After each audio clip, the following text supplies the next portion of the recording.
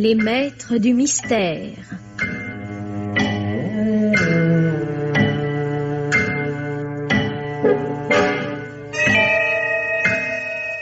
Parmi les chefs-d'œuvre de la littérature policière, Germaine Beaumont et Pierre Billard ont choisi pour vous ce soir Virus, pièce radiophonique de Charles Maître, d'après le roman de Georges-Jean Arnaud, avec Nicole Verville dans le rôle de Michel, Henri Vilbert, le brigadier Millet, Pierre Constant, Pierre Aguil, Jean-Claude Michel, François, Henri Labussière, le garçon de laboratoire.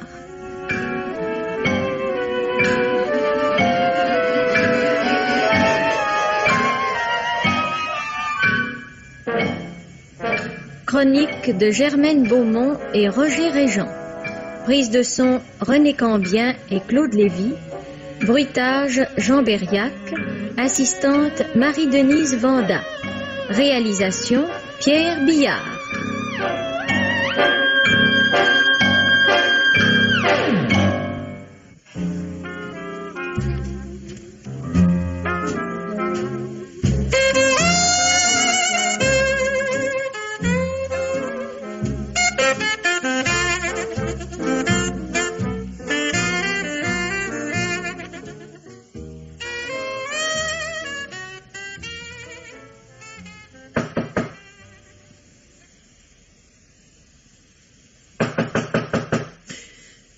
Qu'est-ce que c'est?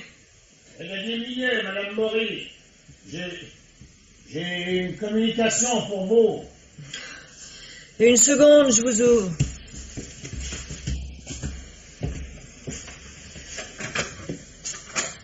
Excusez-moi, j'étais couché. Que se passe-t-il? Je peux entrer? Mais oui, bien sûr. Venez par ici. Et que se passe-t-il? Rien de grave, j'espère. Si, malheureusement. Oh mon Dieu. Mon mari Oui. hein.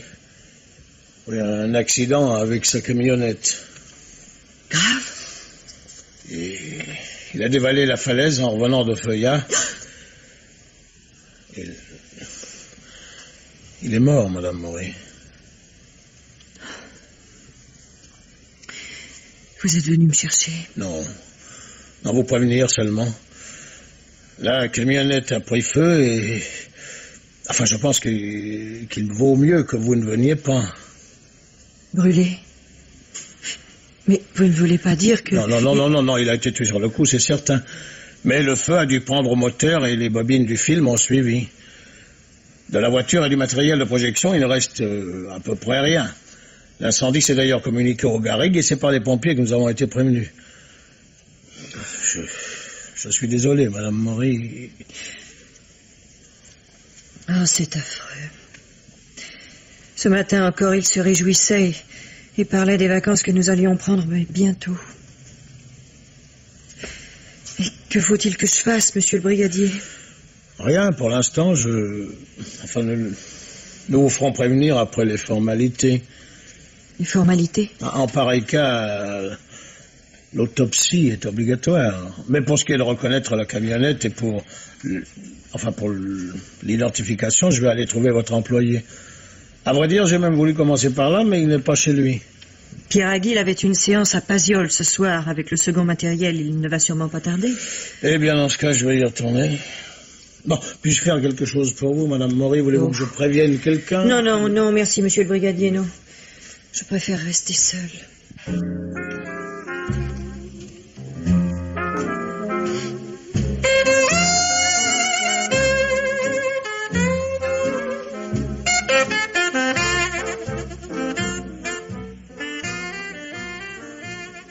Ah, c'est vous, Aguil.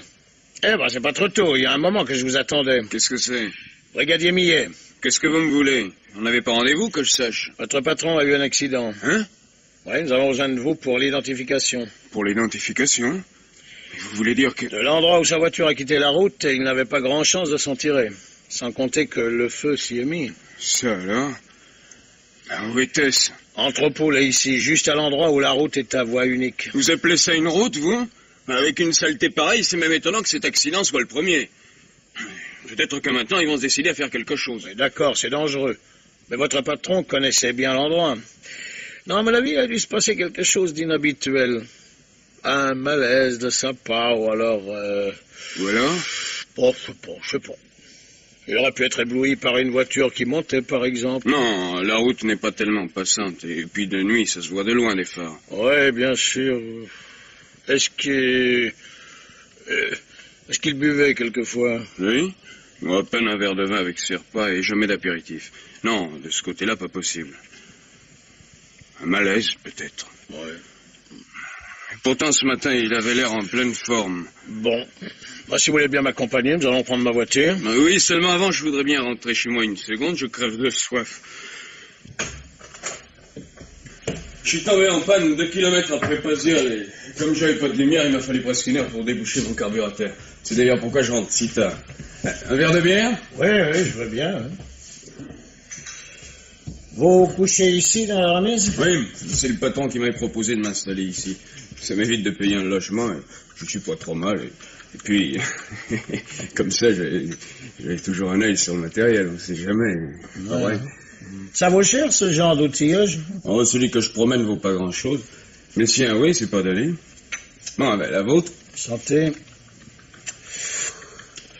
En somme toute, c'est pas tellement un mauvais truc, le cinéma ambulant, hein On y pense un peu comme à des forains, mais c'est peut-être plus simple et plus rentable. Bon, à part l'équipement, il n'y a pour ainsi dire pas de frais.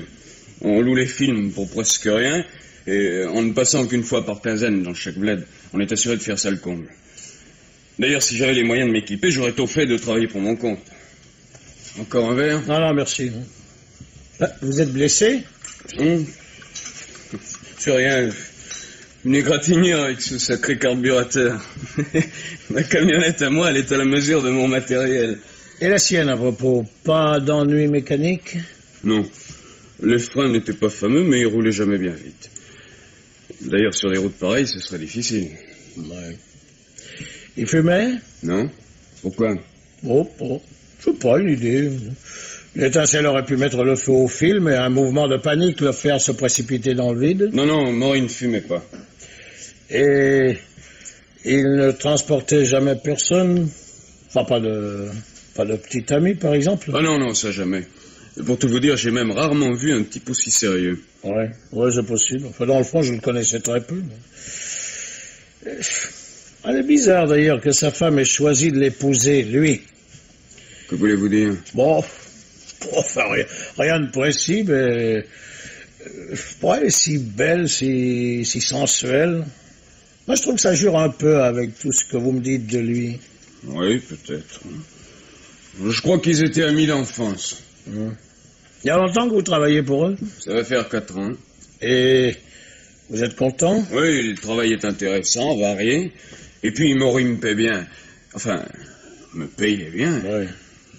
Je sais pas ce qui va se passer maintenant. Bah, vous aurez une patronne au lieu d'un patron. Madame Maury ne va pas lâcher une aussi bonne affaire. Elle sera sans doute obligée de prendre un deuxième employé, c'est vous qui monterez en grade. Eh, qui sait, avec le temps, vous aurez peut-être une chance de le remplacer complètement, le patron. Me dites donc, qu'est-ce que c'est que ces insinuations? Bah, dites tout de suite que j'ai trafiqué sa voiture pendant que vous y êtes. Mais non, mais non, ne vous emballez pas. Je sais bien que ce n'est pas le moment de plaisanter, mais on, ne peut pas y penser tout le temps. quoi.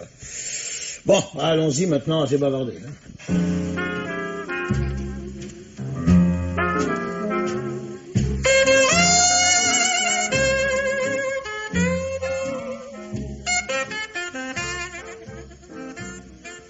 Brigadier Millet C'est moi, oui. Et vous êtes euh, François Maury, n'est-ce pas? Vous ressemblez à votre frère.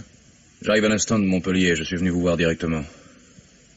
Que s'est-il passé Votre belle-sœur ne vous l'a pas dit Euh, Seulement quelques mots par téléphone. Elle a parlé d'un accident. Sur la route des falaises, oui. Vous connaissez, je Je suppose. suis né ici. Mon frère aussi, d'ailleurs. Que voulez-vous dire Que cette route, il aurait pu la faire les yeux fermés. Et que malgré cela, il était toujours très prudent. Vous doutez de l'accident Je n'y crois pas. Sans être aussi catégorique que vous, Monsieur Maury, j'ai cependant eu la même idée. J'ai fait une petite enquête. Ce soir-là, avant de reprendre la route, votre frère se sentait malade. Il en a parlé à la propriétaire du café. Et alors Une intoxication alimentaire est toujours possible. J'aurai le résultat de l'autopsie ce soir ou demain matin.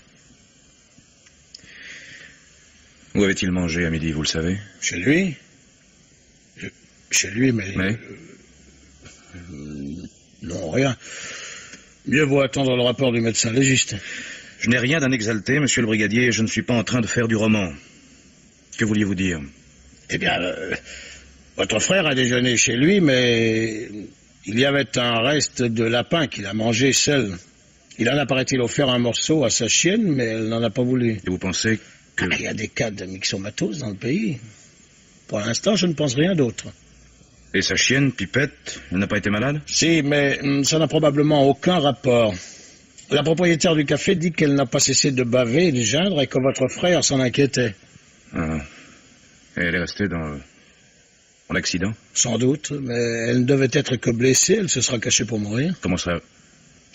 Vous ne l'avez pas retrouvée? Non Cette petite chienne ne connaissait que mon frère, monsieur le brigadier. Même blessée à mort, elle ne l'aurait pas quitté. Peut-être que si, à cause du feu. Ouais. En tous les cas, morte ou vivante, elle doit bien être quelque part.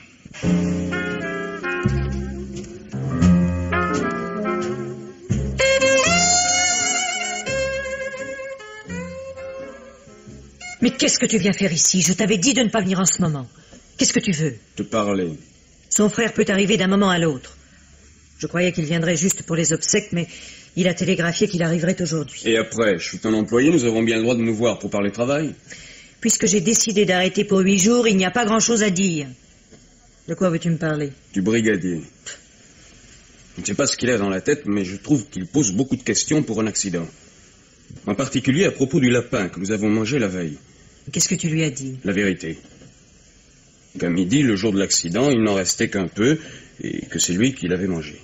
Et alors D'après la patronne du bistrot, la Feuillard, ton mari était malade après la séance. Il a bu trois verres d'eau en disant qu'il avait l'estomac en feu. Et il paraît que la chienne était encore plus malade. Oui. En somme, tu es en train de te demander si j'ai pas empoisonné les restes du lapin. Je ne peux pas croire que tu aurais été gourde à ce point-là. Seulement si c'était le cas, tu ferais mieux de me le dire. Oh, mon pauvre Pierre, oh, va-t'en, tiens, ça vaudra mieux. Risquer de faire jaser pour de pareilles stupidités, c'était vraiment pas la peine. Non, et si tu penses... Qu'est-ce que c'est? Attends, je vais voir. C'est lui. Assieds-toi là, nous étions en train de parler. Ensuite, tu t'en iras rapidement. Je te revois quand? Je ne sais pas, je te ferai signe. Bonsoir, Michel. Bonsoir, François. Entre. J'étais en train de parler travail avec Pierre. Bonsoir, Aguil. Bonsoir, monsieur Maury. Je ne sais pas comment vous dire. Généralement, on dit sincère condoléances. Oui, vous avez raison, ce qu'on peut dire et rien. Oui, je vais vous laisser maintenant. Pour les programmes à venir, Madame Maury, je ferai le nécessaire et je vous téléphonerai. Vous ne prenez plus vos repas ici? C'est-à-dire, euh, étant donné les circonstances. Ma belle-sœur et moi serons bien obligés de manger tout de même. Venez comme d'habitude. Très bien, monsieur Maury, comme vous voudrez. À demain alors. À demain. Bonsoir, Pierre. Bonsoir, madame.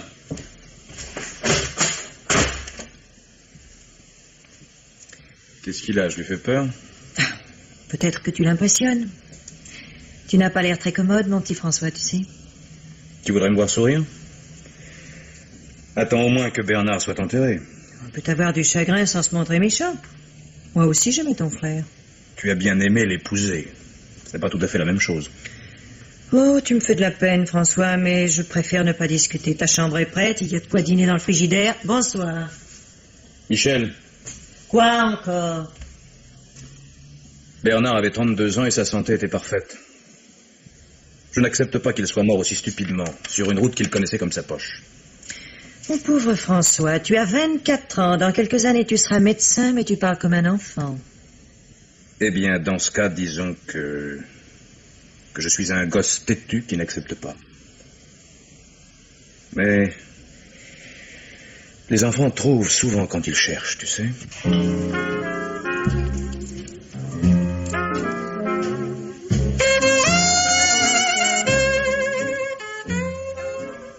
Encore un peu de café, Pierre? Non, merci, madame. Il faut que j'aille à la gare prendre livraison du nouveau projecteur. Euh, Vous avez pensé au film pour la semaine prochaine? Oui, j'ai commandé le dos au mur. Nous l'aurons samedi. C'est tout? En attendant que je trouve un opérateur, nous ne ferons qu'une seule tournée. Moi, je ne me sens pas la force d'en faire une moi-même. Si c'est l'affaire de quelques jours, Monsieur François pourrait peut-être... Mon beau-frère repart demain matin et il a un examen à passer. Mais je reviendrai, ma chère Michel. Je reviendrai. Dans une semaine exactement. Tu écoutes aux portes maintenant? Oui. Je fouille le pays, j'écoute aux portes. Tout m'intéresse. Libre à toi de t'amuser comme tu l'entends. Tu veux du café? Volontiers, oui. Vous partez, Aguil? Puisque vous écoutiez, vous devez le savoir. Ah, c'est vrai, j'oubliais, oui, le nouveau projecteur. Mais dites-moi, pendant que j'y pense, est-ce que vous avez besoin de la camionnette ce soir? Non, pourquoi? Un petit saut à faire jusqu'à Perpignan, tu permets, Michel?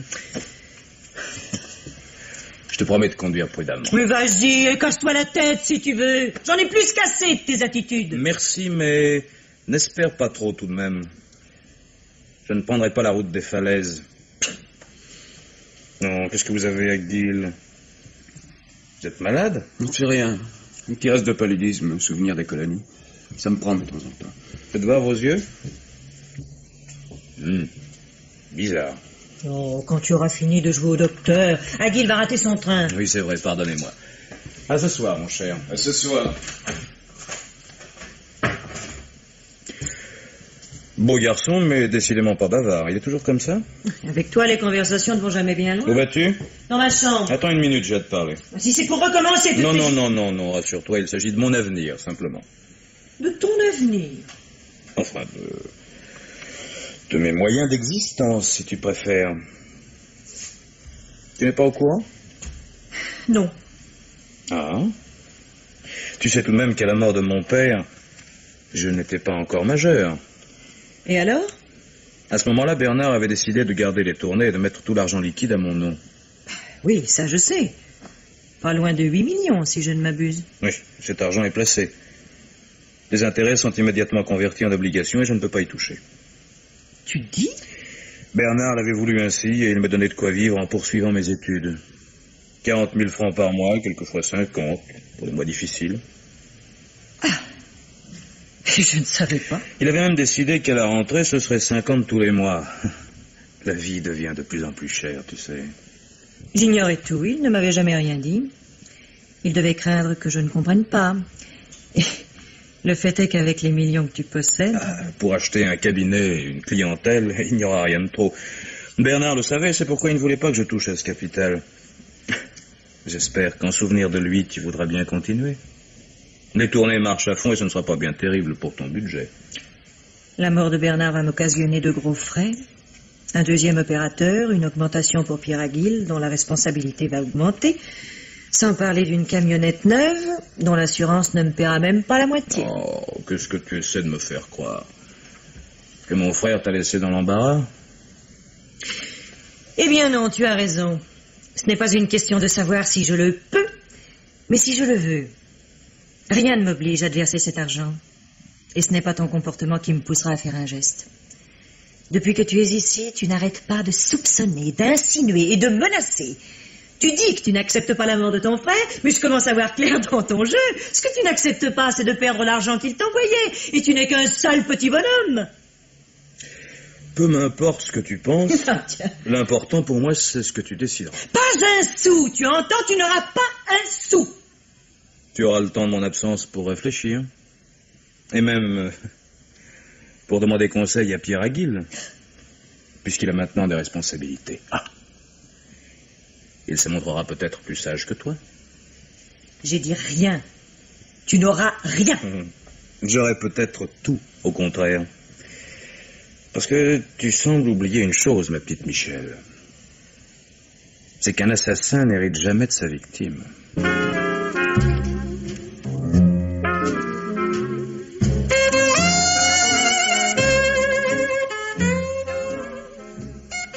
Tu as, Pierre Ça ne va pas C'est rien, c'est rien, ça va passer. Seulement, si ces saletés d'accès me reprennent régulièrement, il va falloir que je prenne de la quinine. Tu devrais peut-être voir. Allô, oui Madame Maury C'est moi François à l'appareil. Je voulais simplement te prévenir que je serai là demain matin, à la première heure. Et pourquoi me prévenir? T'as besoin d'une fanfare? Non, non, non, non, merci. C'était plutôt pour. pour t'éviter une surprise, à tout hasard. Je suppose que c'est une plaisanterie. Mais elle ne vaut pas le prix d'une communication. Bonsoir. Quand revient-il? Demain matin. Ah, Pierre, Pierre, j'ai peur. Je suis sûr qu'il sait. Mais non. Il a deviné qu'il y avait quelque chose entre nous et il essaie d'en profiter, c'est tout. Seulement à ta place, je lui verserai sa petite pension. Il se tiendra tranquille et, et ça ne te ruinera pas. À moins que ça ne l'incite à devenir plus gourmand. Et une fois qu'on a la main dans l'engrenage, Dans ce cas, nous aviserons. et Ce sera lui ou nous. tu veux dire que... Que la fatalité s'abattant sur une famille, ça se voit tous les jours. Tu n'as qu'à ouvrir un journal.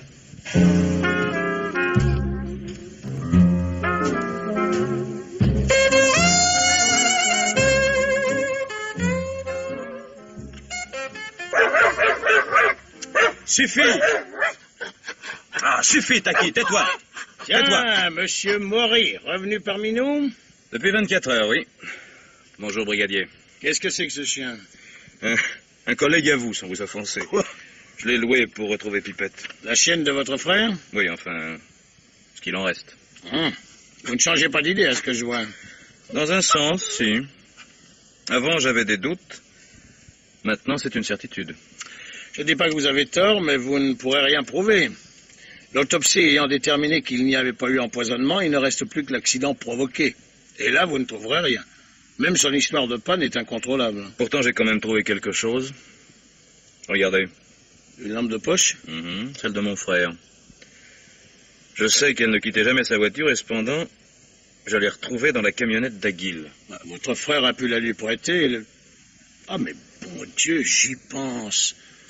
Quand il m'a raconté sa panne, Aguil m'a affirmé qu'il n'avait pas de lumière. Vous voyez bien qu'on peut toujours trouver quelque chose. Chut.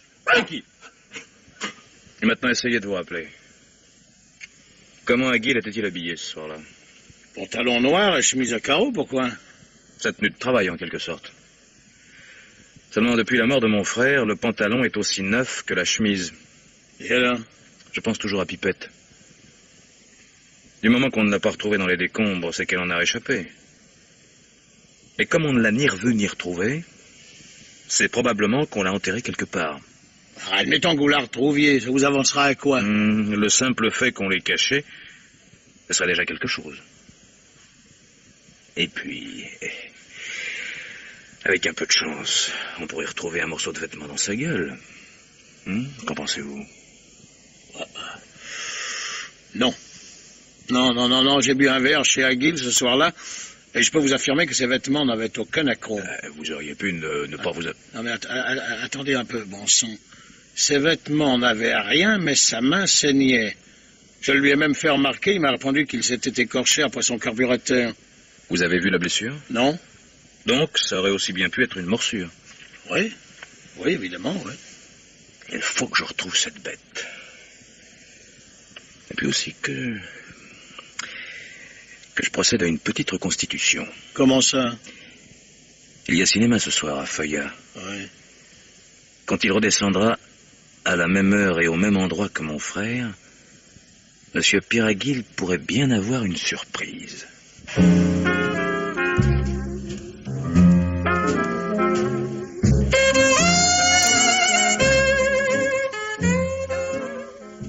Encore un peu de salade, Pierre? Non, merci, madame. Vous en faites des grimaces pour boire un verre de vin. Ça passe si mal que ça J'ai mal à la gorge, oui. Un peu d'angine, peut-être À votre place, je verrai tout de même un médecin. Vous n'avez pas bonne mine.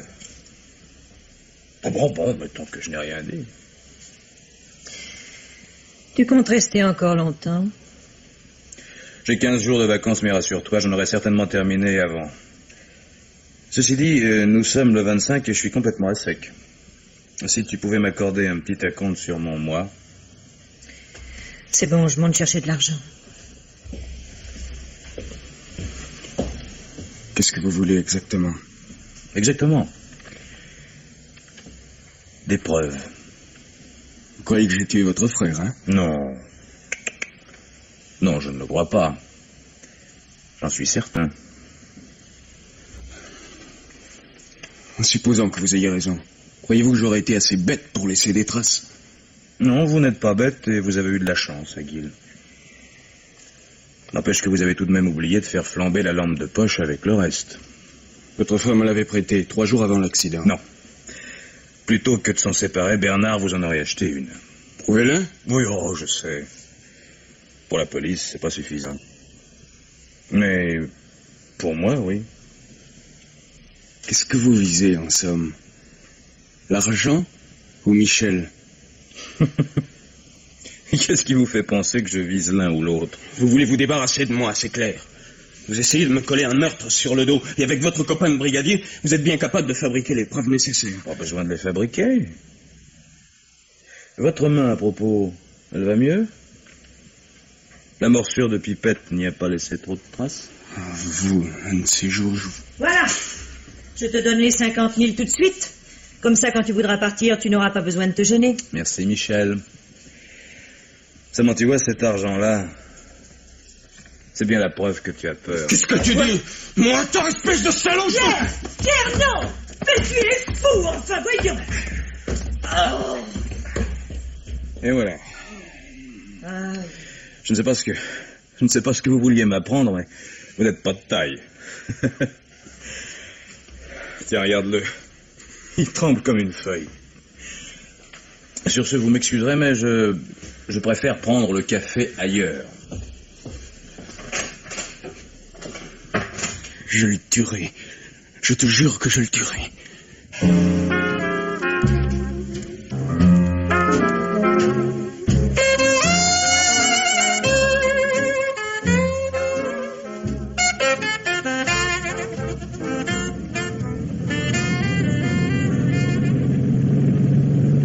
D'où sort-il celui-là Mais vos phares, espèce d'abruti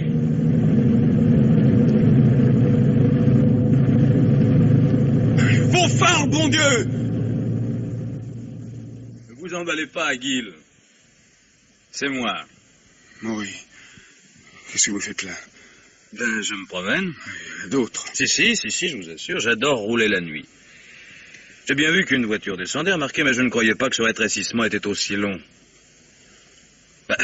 Il ne vous reste plus qu'à faire machine arrière. Rien à faire. Bon, je vais tout de même pas, moi, reculer sur un kilomètre alors que vous en avez à peine pour 100 mètres. C'est toujours la lampe de mon frère. Je vais vous éclairer. Vous, vous croyez me posséder, mais vous en serez pour vos frais. Quitte à rester ici toute la nuit. Mais de quoi avez-vous peur? Hein?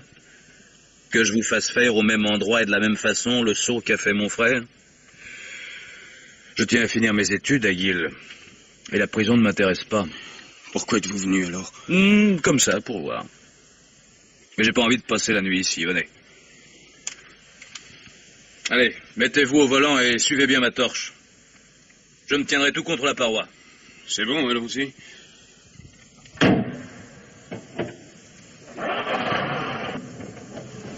Après tout, vous avez raison. Ça vous coûterait trop cher. Allez-y. Là, là, doucement, doucement.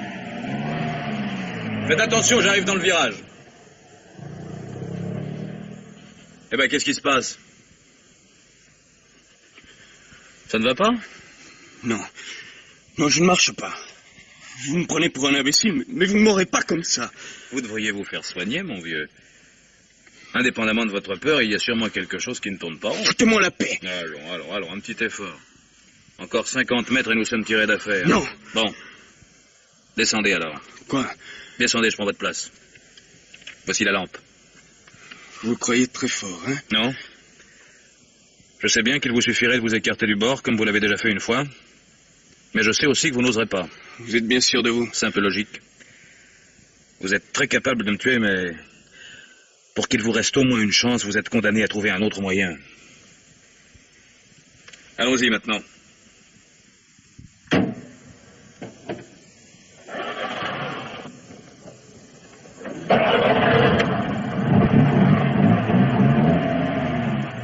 Tout droit sur 10 mètres. Maintenant, commencez de braquer. Halte, ça ne va pas. Vous êtes trop à gauche.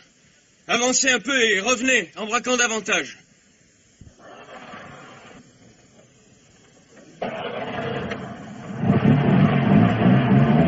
Là Braquez toujours Tout droit maintenant Encore quelques mètres et ça suffira. Là Ça va. Il y a la place pour deux. Eh ben, vous voyez, c'était pas si terrible. c'est drôle. C'est moi qui frôle le précipice et c'est vous qui tremblez. Écoutez, Maury, allez chercher votre voiture. Continuez votre route et retournez à vos études. Si vous revenez, ce sera vous ou moi. Désolé, mais je suis en vacances et le pays natal me plaît bien. Comme vous voudrez. Mais je vous aurais prévenu. Mais oui, c'est entendu, je n'oublierai pas. Mais puisque vous avez la gentillesse de me prévenir, je ne veux pas être en reste. Vous avez de plus en plus mal lorsque vous avalez, n'est-ce pas? Et alors? Alors voilà, j'ai beau ne pas être encore très calé sur les maladies coloniales, je n'ai jamais entendu parler de pareils symptômes à propos de paludisme. Ceci dit, et si vous avez envie de passer la nuit auprès de Michel, ne vous gênez pas pour moi, je ne rentrerai pas.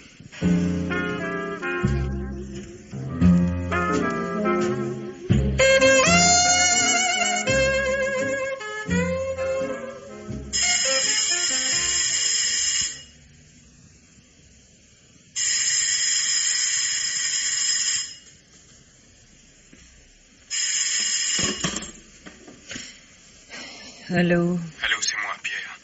Je te téléphone pour que tu viennes m'ouvrir la porte de derrière. Il faut absolument que je te parle. Mais Tu es fou, François n'est pas rentré. Aucune Et- importance. D'ailleurs, il ne rentrera pas. Fais ce que je te dis.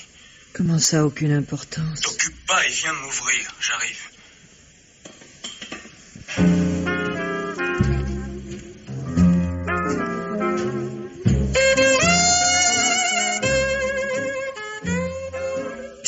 Folie de venir ici au milieu de la nuit. Qu'est-ce que c'est que cette histoire? Pourquoi François ne rentrerait-il pas? Il sait tout. Il vient de me coincer sur la route de Feuillet. Il m'a eu à l'esbrouf, mais j'avoue que j'ai eu peur. À tel point qu'il m'a fait refaire comme un automate les mêmes gestes que l'autre fois. Oh, mon pauvre Pierre, je te croyais plus solide. Qu'est-ce que ça peut bien faire qu'il ait deviné puisqu'il ne peut rien prouver? Pas encore, non. Il ne va pas en rester là. Qu'est-ce que tu veux qu'il trouve? Et la chienne, parbleu. S'il met la main dessus, ce sera suffisant pour me faire arrêter. Et ensuite, ils trouveront bien le moyen de me faire parler. Non, c'est malin. Comme si tu n'avais pas pu l'acheter dans le brasier. Justement, non, je n'ai pas pu. Quand je suis arrivé à la voiture, la chienne n'y était pas. Elle m'a sauté dessus au moment où je mettais le feu. Et ensuite, elle, elle m'a échappé. Il m'a fallu plus de cinq minutes pour la voir. Et à ce moment-là, j'étais plus près de ma voiture que de l'incendie. Qu'est-ce que tu aurais fait à ma place? Tu l'as enterré loin? Un bon kilomètre au moins. Seulement l'autre a emporté un vieux collier de pipette pour le faire renifler à son berger allemand. Et cette sale bête est bien capable de retrouver l'endroit. Ah, Donne-moi à boire, j'ai soif. Qu'est-ce que tu comptes faire? Partir. Seulement quand je ne veux pas partir sans toi et que nous aurons besoin d'argent, il faut trouver un moyen de gagner du temps. Mais tu n'y penses pas, voyons. Alors là, ce serait un aveu. Pas forcément. Moi, j'ai bien le droit de changer d'air. Je ne dois de compte à personne. Quant à toi, un peu plus tard, rien ne t'empêche de vendre l'affaire et de quitter le pays. Tout ça devrait même pouvoir se faire assez rapidement. Et s'ils nous retrouvent S'ils apprennent que nous sommes ensemble Ah, Et ça n'aura plus d'importance parce que nous serons très loin.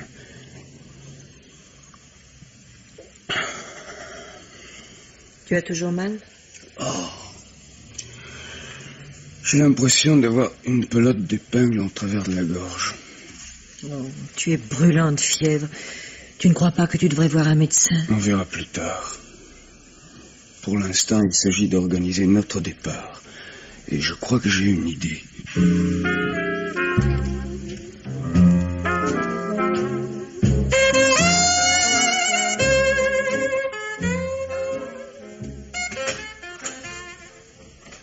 Bonjour ma petite Michel. Bien dormi? D'où viens-tu? Une petite promenade à travers les garrigues.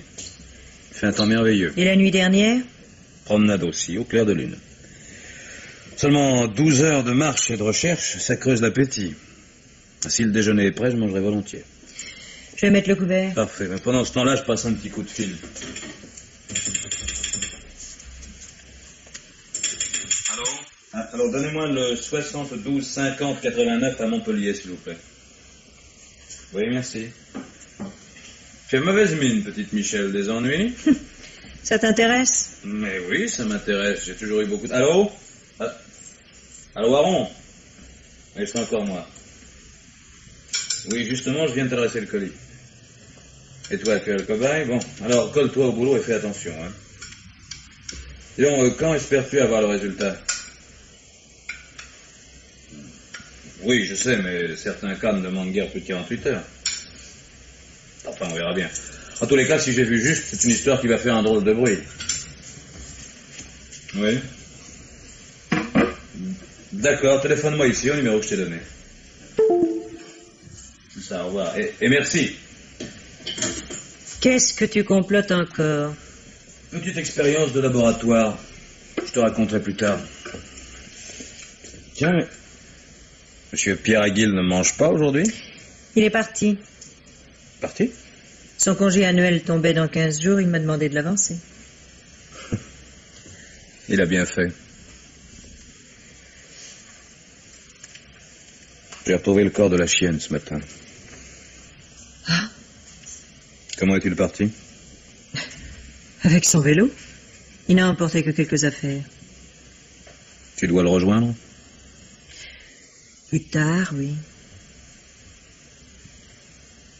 Tu l'aimes Je l'ai cru. Maintenant, j'essaie de m'y accrocher. Toute ma vie, je me suis trompée.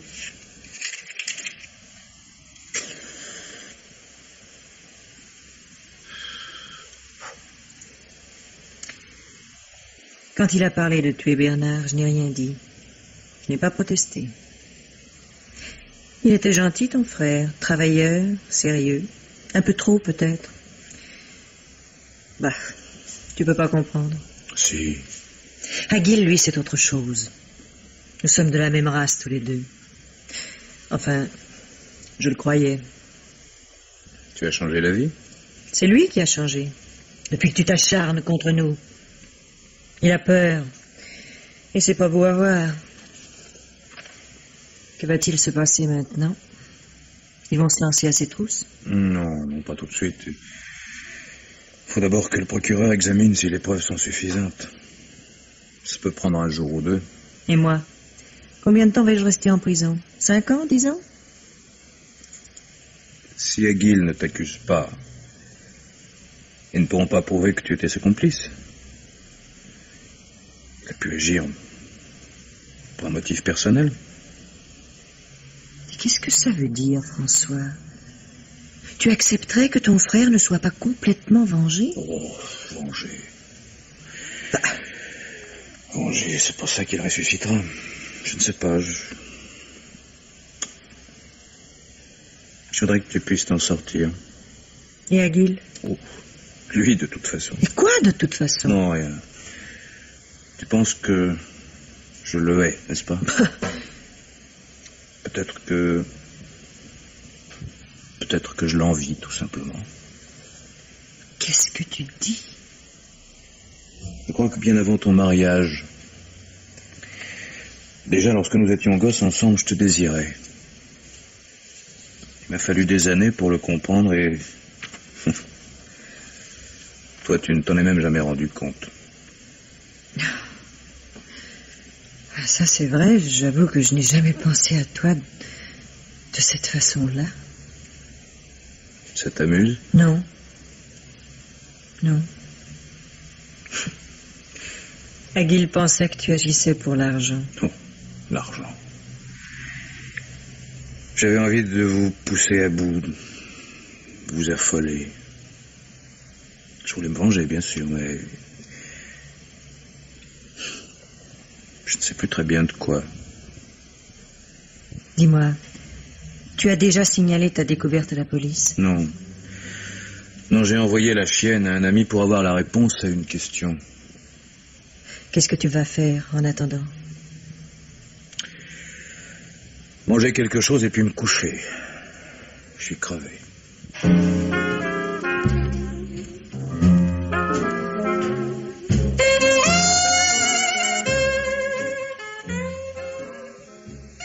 Franchement, je ne vous comprends pas, monsieur Maury. Vous avez l'air d'un gosse qui aurait allumé un incendie et qui ne saurait quoi faire pour l'éteindre. Mais puisque je vous dis... Mais je me fous de ce que vous me dites. Pour moi, il n'y a que les faits qui comptent. Or, Aguil s'est enfui et vous me prévenez 48 heures après son départ. Ça aurait changé quoi que je vous prévienne Vous n'avez pas assez de preuves pour le faire poursuivre. J'aurais pu ne pas perdre sa trace et le faire surveiller. Tandis que maintenant, grâce à vous, il est peut-être déjà à l'étranger. Oh, Je doute qu'il ait les moyens d'aller très loin. Ça- Non, écoutez, monsieur Maury, quand vous êtes arrivé ici et que vous êtes venu me trouver, tout le monde pensait que la mort de votre frère était accidentelle. Vous pensiez, vous, qu'il s'agissait d'un crime. Et vous vous êtes montré tellement persuasif que j'ai fini par adopter votre point de vue. Bon. Là-dessus, nous apprenons que le soir de sa mort, votre frère semblait malade et sa chienne aussi. Nous pensons donc à un empoisonnement. Mais l'autopsie révèle qu'il n'en est rien, et je suis obligé de clore l'enquête. Mais Vous, le- par contre, vous ne désarmez pas. Et vous vous lancez sur la piste d'un crime camouflé en accident. En ce qui me concerne, je ne peux pas faire grand-chose. Mais la disparition de la chienne m'intrigue, et encore une fois, je ne suis pas loin de penser comme vous. Mais à ce moment-là... Vous cherchez ouvertement, vous harcelez Aguil et vous parvenez à lui faire peur au point qu'il préfère prendre la fuite. Et c'est au moment où vous obtenez ce résultat, on peut même dire cet aveu, que vous choisissez de vous taire et de ne plus bouger. Mais qu'est-ce que ça veut dire? Et que s'est-il passé l'autre soir sur la route de Feuillat? Et puisque je vous avais prévenu, vous auriez dû venir. Vous le sauriez. J'ai voulu venir, figurez-vous. Seulement, à la sortie de la ville, j'ai crevé. Et mon garagiste avait sorti mon cric de la voiture. Quand j'ai eu finalement réparé, et au moment de repartir, j'ai vu la camionnette d'Aguil passer à côté de moi. Encore un de ces petits incidents qui bouleversent tout. Oui, grave. Le plus drôle, c'est qu'il allait sans doute rassembler ses affaires pour partir. Si vous l'aviez suivi, Et pourquoi l'aurais-je suivi alors qu'il revenait tranquillement de son travail? J'ai pensé que vous n'étiez pas allé là-haut, et voilà tout. Mais encore, je- encore une fois, je ne vois pas ce que cela a de drôle, et je trouve votre attitude assez étrange, monsieur Maury. Aguil a tué mon frère et il paiera. Soyez tranquille.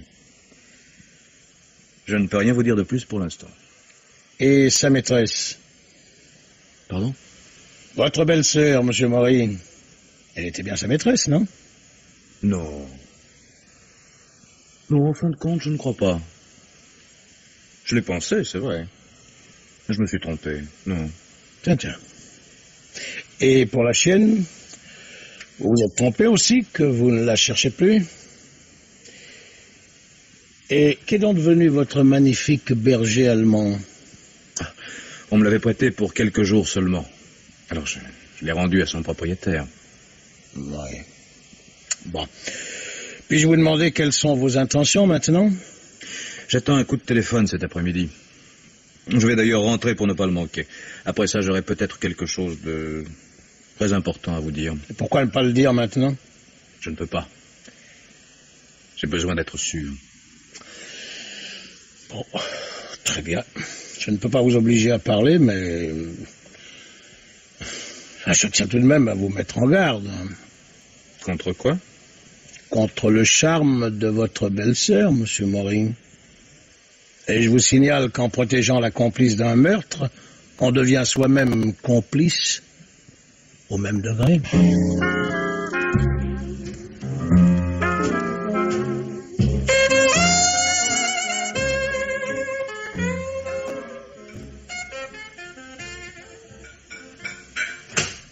Pas encore lavé cette vaisselle? Oh, tu m'as fait peur? Je ne savais pas que tu étais là. Il reste un peu de café? Non, mais je vais t'en faire si tu veux. Non, non, non, non, non, pas la peine. D'où viens-tu? De la gendarmerie. J'ai dit au brigadier que tu n'étais pas la maîtresse d'Aguil. Ça l'a rendu furieux. Enfin, qu'est-ce que tu espères? Rien. Je crois qu'il serait temps que nous parlions un peu. Apporte le cognac et deux verres, tu veux Ah, voilà. Alors, de quoi veux-tu me parler? De pain. Hein? De viande aussi, d'ailleurs. Depuis qu'Aguil est parti, tu continues de faire à manger comme pour trois, mais il n'y a quand même jamais de reste. Bizarre, non? Comprends pas. Tout à l'heure, il restait du café, maintenant il n'y en a plus. Et ce matin, par hasard, je t'ai vu fermer à clé la porte de ta chambre. Il est là-haut, n'est-ce pas? Hmm. Hmm, C'était la meilleure solution, remarque. Il pouvait très bien rester caché jusqu'à ce que vous puissiez partir. C'était son idée, oui. Tu vas monter lui dire que je veux lui parler. Non, tu es fou. Non. Tu lui diras la vérité, que j'ai deviné qu'il était là et que j'ai quelque chose de très important à lui communiquer. Non, c'est impossible, François. Il ne veut pas. Il ne faut pas que tu le vois. Pourquoi? Nous jouons franc jeu maintenant, non? Euh, Pourquoi ne devrais-je pas le voir? Il est comme fou. Je ne sais pas ce qu'il a, mais je te jure qu'il est en train de devenir fou. Toute la nuit, il est resté aux aguets derrière la fenêtre et il m'a obligé de veiller avec lui. Il croyait que, que je l'avais dénoncé et que la maison était cernée. Il est armé? Un pistolet automatique, oui. Et il a plusieurs chargeurs dans ses poches. Ah, Dangereux, ça. Il dit que il ne peut plus avaler, qu'il a peine à respirer, qu'il a des crises de nerfs épouvantables et il ne parle que de te tuer. Je te jure qu'il me fait peur. Mhm. C'est son paludisme, tu crois? Non. il, il voudrait que j'aille acheter de la quinine. Je ne peux pas demander ça aux pharmaciens d'ici. Non. D'ailleurs, ce serait inutile.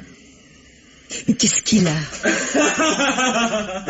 Attends, je vais te le dire, ce que j'ai. Reste Pierre. assis, reste assis, Maurice, ou je te descends.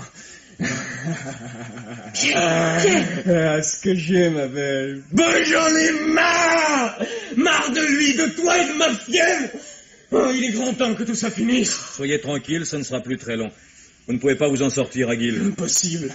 Seulement, vous ne vous en sortirez pas non plus, ni vous, ni elle Nous sommes tous les trois dans le même bain. Et nous y resterons. Ne faites pas l'imbécile, Aguil. Vous êtes très malade, mais il est encore temps de vous soigner. C'est ça, on va me guérir avant de me traîner sur l'échafaud, hein Mais tu crois, tu crois au Père Noël, mon petit? Sauve-toi, Michel. Il a- Tu es fou Tu es fou, Pierre Tu es complètement fou. Décroche. Hein? Réponds au téléphone, je te dis. Allô? Allô? Allô, pourrais-je parler à François Maurice, s'il vous plaît? Il... il est parti. Euh, Comment? Allô, je vous entends très mal. Il, il est parti. Il est parti. Ah bon? Euh, Est-ce que vous ne pourriez pas lui faire une commission? C'est très important. Allô, vous m'entendez? Oui, oui. Bon, euh, alors dites-lui que le cobaye est mort ce matin, foudroyé. Et dites-lui aussi que l'homme qui a été mordu par la chienne doit être en pleine crise et qu'il est sans doute trop tard pour le traitement.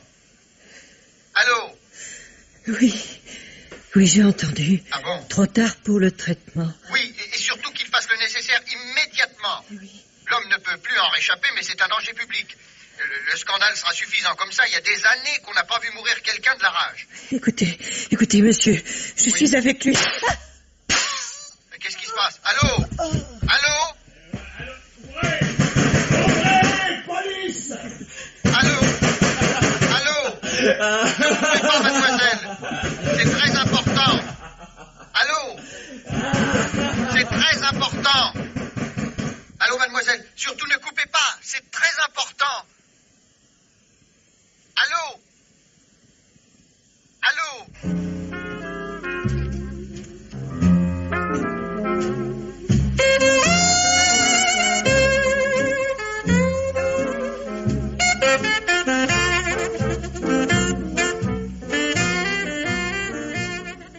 Et maintenant, Germaine Beaumont vous parle du dernier livre qu'elle a lu pour vous. Agatha Christie poursuit inlassablement sa carrière, et si certains de ses romans policiers peuvent plaire plus ou moins à ses innombrables lecteurs, ils gardent néanmoins leur qualité de logique adroitement mêlée à des intrigues romanesques. Ce qui intéressera le plus dans son dernier roman Le chat et les pigeons, publié au masque, est incontestablement le retour d'un cher vieil ami, Hercule Poirot, dont les petites cellules grises n'ont nullement souffert du passage des années. Seul Hercule Poirot pouvait en effet résoudre l'énigme proposée par le chat et les pigeons. Le cadre du roman évolue d'une façon très inattendue. Il commence par la fuite d'un souverain du Moyen-Orient, lequel a fait appel à l'amitié d'un aviateur anglais pour l'arracher à une imminente révolution de palais. Ce potentat cherche également à faire sortir de son pays un lot de pierreries fabuleuses. Or, l'aviateur et le souverain périssent dans les montagnes, mais nulle part on ne retrouve le trésor. Quelqu'un a dû réussir à le faire quitter le pays, mais comment et par quel subterfuge? Toujours est-il que vers le même moment, une série de drames désolent et compromettent un pensionnat de jeunes filles en Angleterre. Ce pensionnat est considéré comme un des plus sélects et cependant c'est dans cette institution jusque-là irréprochable que des meurtres se succèdent, décimant le personnel enseignant, cependant qu'une élève et non des moindres disparaît. Scotland Yard dépêche en vain son meilleur limier. L'intelligence service entre en jeu à son tour mais le pensionnat continue à être la proie de la fatalité et les parents épouvantés retirent leurs enfants. C'est alors qu'Hercule Poirot entre en jeu. On pourra sourire de ses petites affectations, de sa vanité innocente et de ses méthodes en apparence désuètes. Il faut croire cependant qu'elles n'ont rien perdu de leur efficacité, car il indiquera où se trouve la disparue, et il indiquera surtout où se trouvent les joyaux, et surtout la personne inconnue et insoupçonnée à laquelle ils étaient destinés. Agatha Christie excelle dans un art minutieux qui consiste à multiplier en vase clos un nombre impressionnant et plausible de suspects. On imagine que dans un pensionnat de jeunes filles, elle peut se livrer à cœur joie à son sport favori jusqu'au moment où, bras dessus, bras dessous, avec Hercule Poirot, elle réussit à sortir triomphante du labyrinthe. Le chat et les pigeons par Agatha Christie est publié dans la collection Le Masque. Roger Régent vous parle du dernier film qu'il a vu. Depuis plusieurs semaines déjà, nous n'étions pas très tendres pour les films policiers, policiers ou d'espionnage, que l'on nous présentait. Ils étaient en effet presque tous médiocres, sinon pires, ou sinon pire encore, anodins. Aujourd'hui, enfin, c'est d'une œuvre plus solide, et parfois même excellente, que nous avons à parler.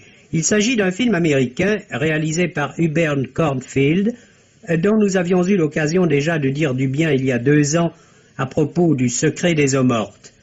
Aujourd'hui, il nous présente Allô, l'assassin vous parle, œuvre inspirée d'un roman de Charles Williams, All the Way, le titre original du film étant The Third Voice, la troisième voix.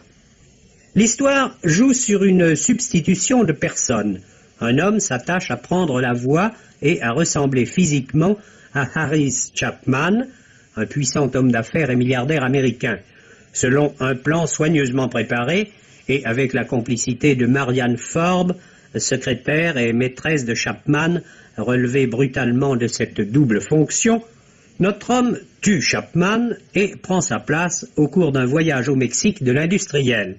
Le but de l'opération sera de se faire virer 250 000 dollars en agissant au nom de Chapman.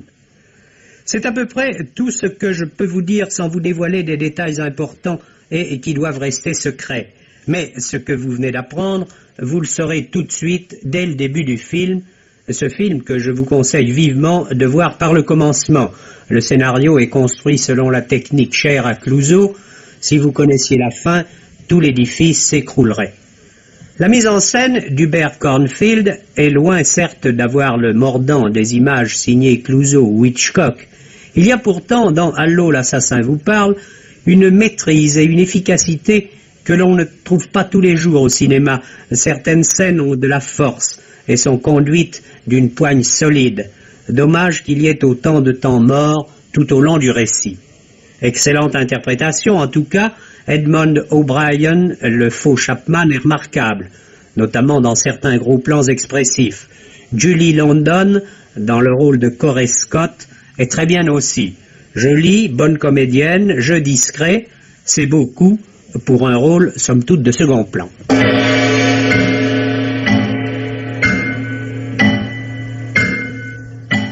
Les maîtres du mystère.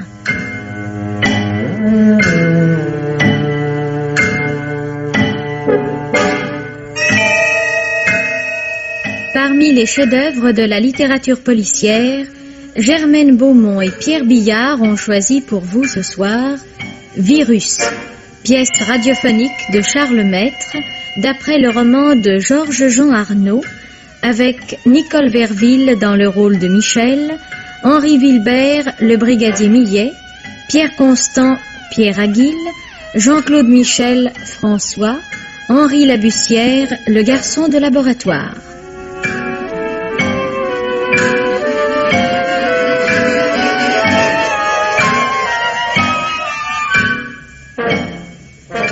Chronique de Germaine Beaumont et Roger Régent. Prise de son René Cambien et Claude Lévy. Bruitage Jean Berriac. Assistante Marie-Denise Vanda. Réalisation Pierre Billard.